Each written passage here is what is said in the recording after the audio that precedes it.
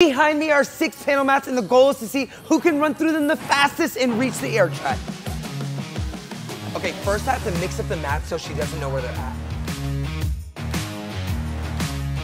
On your marks, get set, go. Oh yeah, oh yeah. Run, hurry.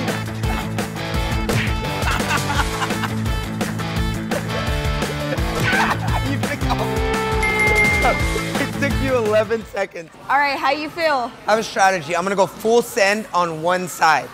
All right, let me see. I'm committing to the right side. Okay, get set, go.